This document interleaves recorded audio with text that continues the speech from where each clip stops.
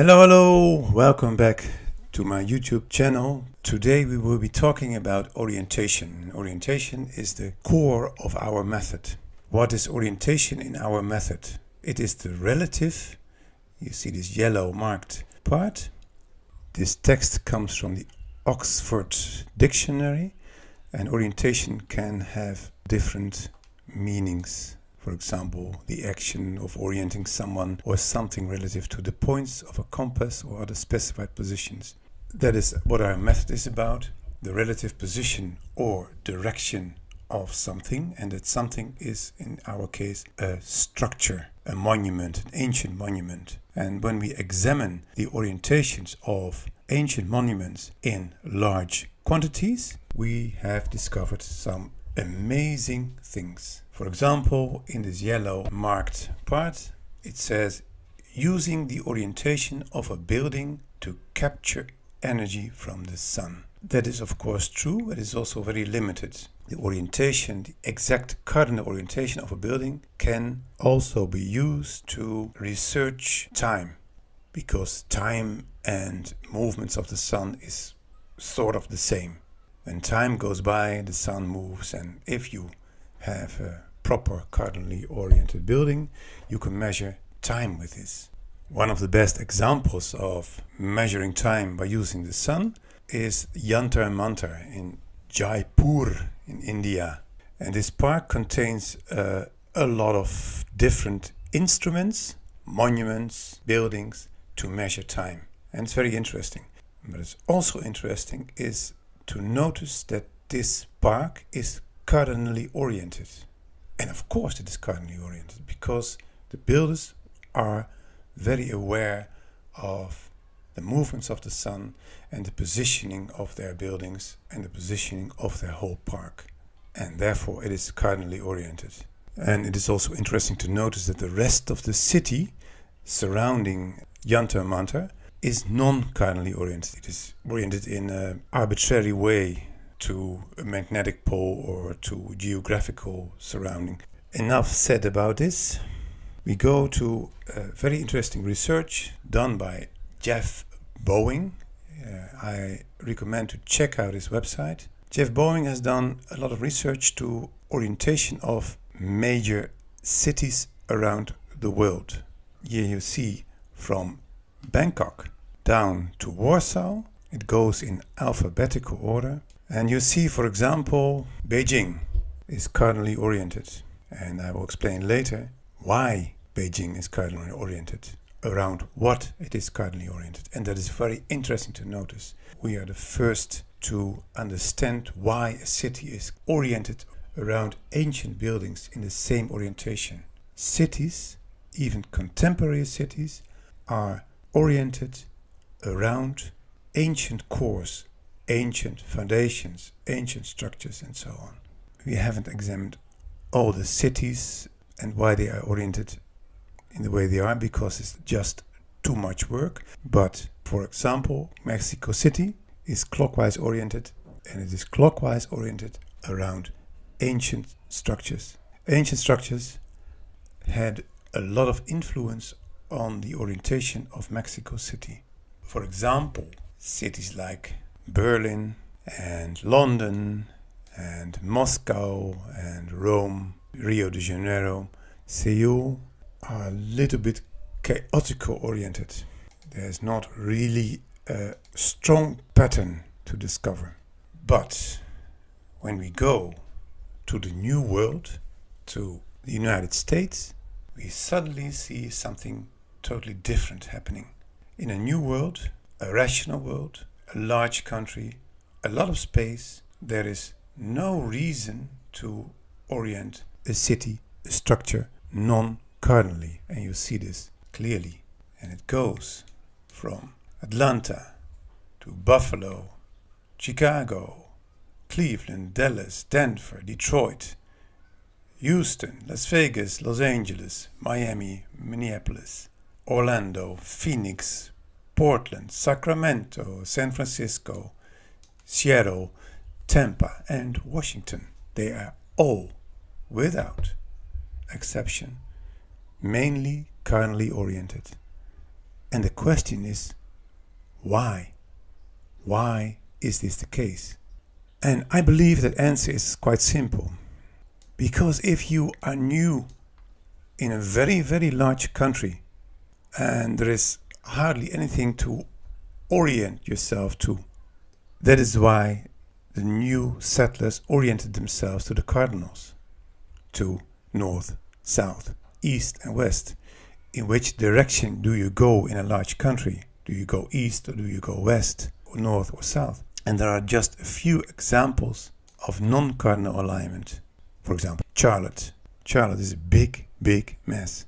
And some other cities like Philadelphia or St. Louis were oriented by using a compass. Because if you look back in time, at the time Philadelphia was founded, the magnetic North Pole was at approximately that direction. So it's clear that this is the reason why Philadelphia is oriented by using a compass. For example, Manhattan has this typical clockwise orientation because the founders didn't want to spoil space. So it's best to build the grid in the direction of the narrow island. It's a logical choice. So that is why Manhattan is one of the few examples of non-cardinal orientation. This is a very interesting video that I captured while browsing through Google Earth and you see the typical cardinal orientation of the whole grid. Every plot, every little city, every road, boundaries, borders, everything is cardinally oriented. Of course, there are a few exceptions. It's very interesting to, to browse through these different areas of the United States. When a country is built from scratch, it is logical, it is cardinally oriented. In our research, a structure, a monument, can only have 45 degrees clockwise orientation freedom and 45 degrees counterclockwise orientation freedom. And you see this here in this short animation. And this is what we used in our research.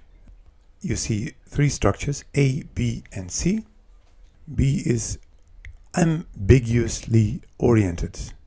The researcher has decided to pick out the stairs as the main feature and then look at which angle it is oriented to north and it is 60 degrees but 60 degrees is ambiguous is ambiguous orientation.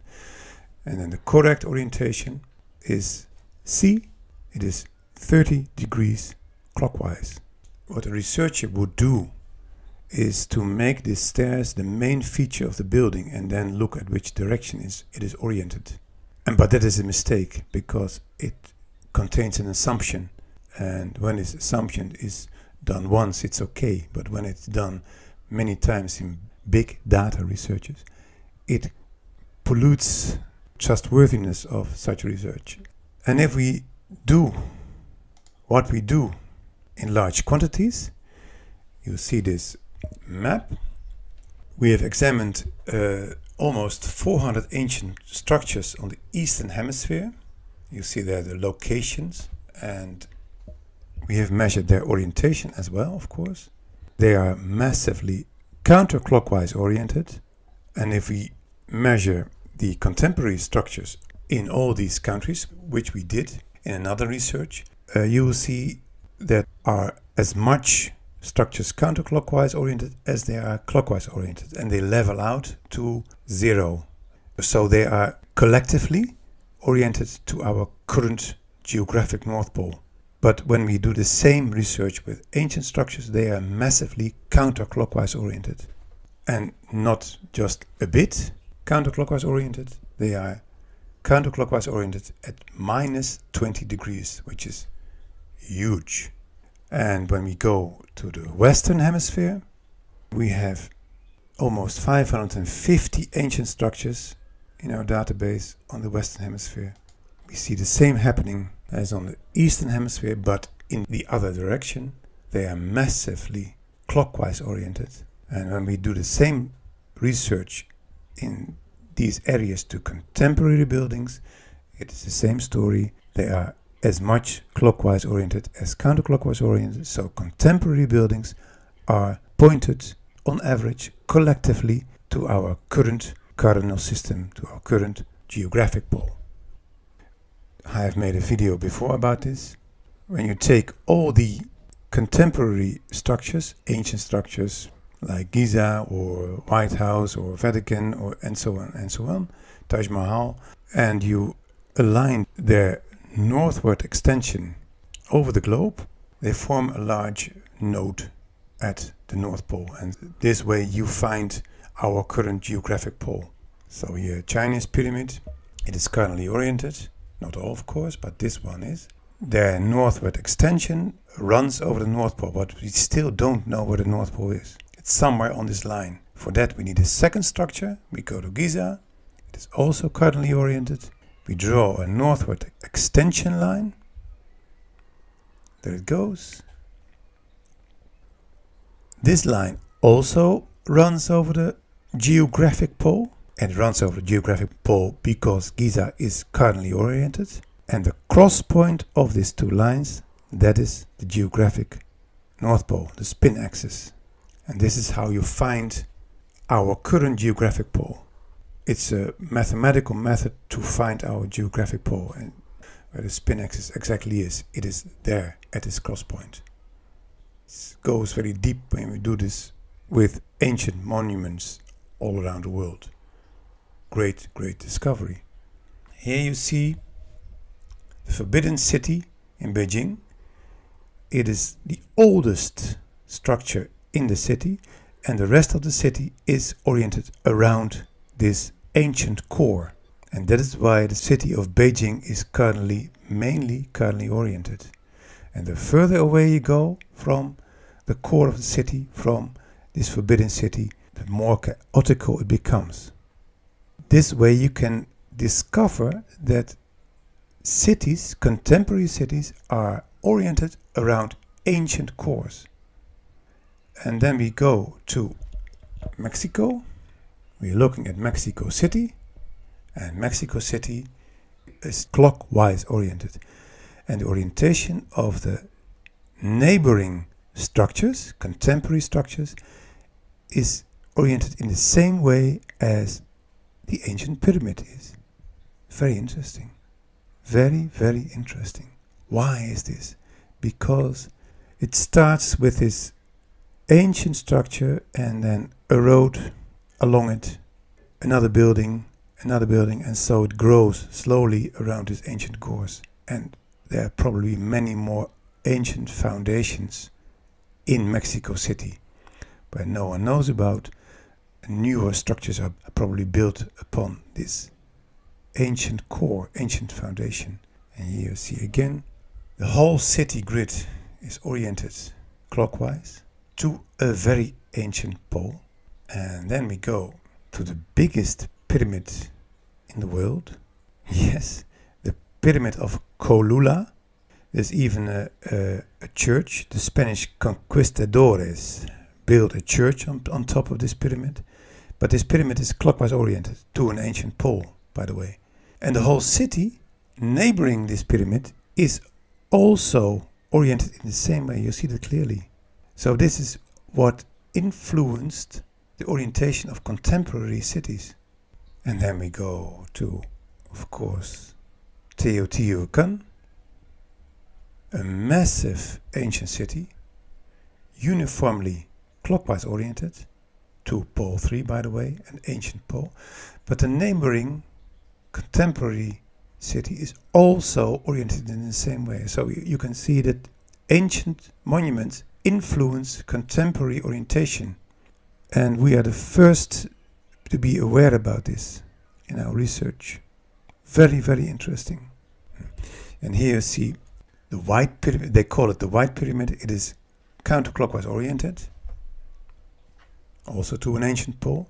But you see that this whole area around is agricultural plots, buildings, roads. Many of them are oriented in the same way. So this is how you can see how ancient structures influence contemporary orientation. This is how it happens. This is why areas are oriented in the way they are. And I want to thank you for watching for your attention. Bye bye.